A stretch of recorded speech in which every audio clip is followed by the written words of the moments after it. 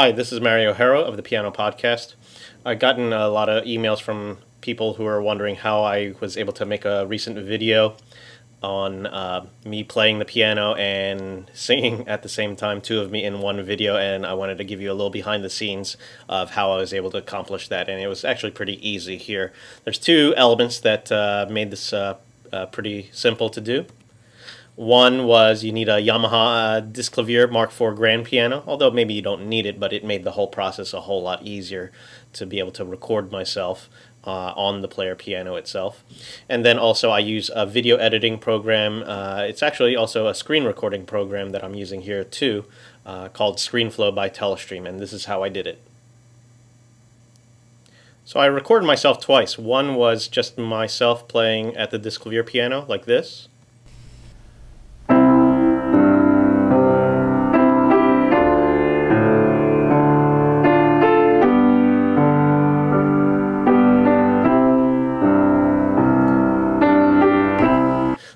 So um, since it is a Yamaha Disklavier player piano, you can record yourself and then uh, play it back to yourself.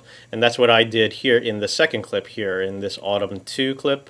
Uh, you'll see this clip of me just singing to the recorded piano part like this.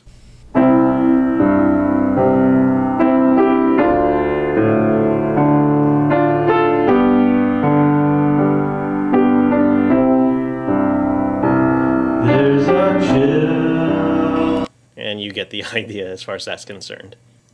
So the next step is to take that second clip of me singing with the Disklavier playing the piano part, and I just drag that into the timeline here in the ScreenFlow project.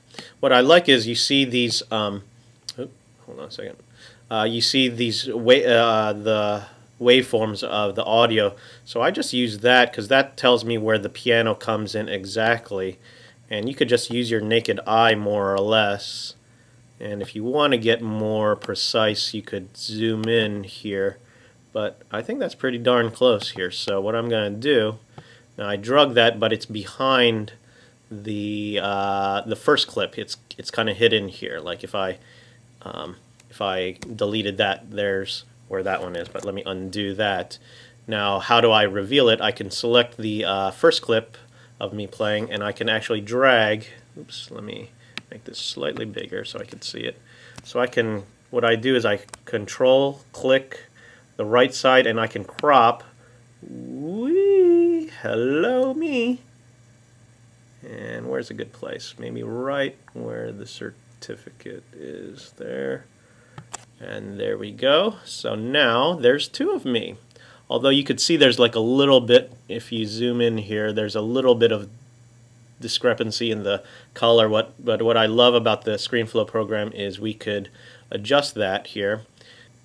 So here under the video properties, you can scroll down and go into color controls and you can adjust, what should I adjust here? The brightness?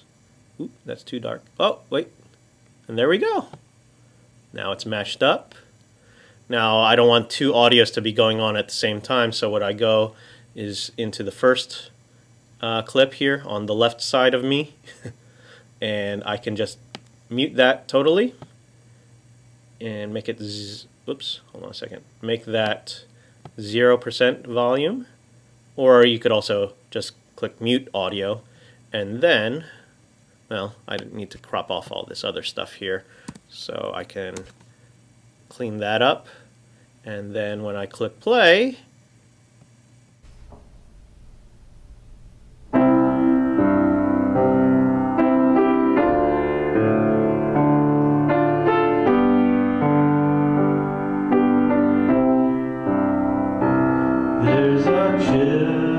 So there you have it. That's how you can make two of you, one playing the piano and one singing along with that performance. Don't scare too many people with this trick. Thanks. Bye.